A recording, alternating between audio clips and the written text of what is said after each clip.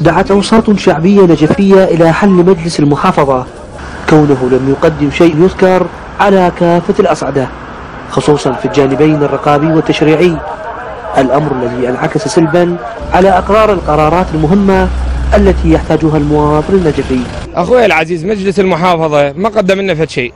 إحنا كمحافظة النجف. فنرجو من السادة المسؤولين إنه إذا شيء ما به فائدة يلغوه نهائيا لأنه مو موظف دي يتقاضى راتب من الدولة وما يقدم فد شيء. هاك باع الشوارع باع كل المجالات. فيما اعتبر مراقبون للشأن السياسي أن المجلس المذكور أصبح أداة سياسية واضحة متجاوزا بذلك عمله الذي وجد من أجله. أكدوا أن حله أصبح ضرورة ملحة. مجالس المحافظات اليوم هي مجالس سياسية أكثر منها مجالس خدمية لأن الهدف الأساسي لها هو تشريع رقابي لا التدخل بعمل الدوائر الحكومية.